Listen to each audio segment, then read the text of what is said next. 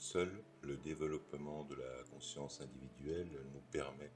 de s'apprendre pour se comprendre, de soigner et guérir ces quatre corps énergétiques, émotionnels, intellectuels, physiques, pour accéder et incarner en présence son cinquième corps, de désimplanter l'ensemble des implants psychologiques et croyances, fausses ou limitantes, de la matrice sociétale, de devenir son propre maître et celui de nul autre, maître de ses cinq sens, de s'ouvrir à l'intelligence universelle.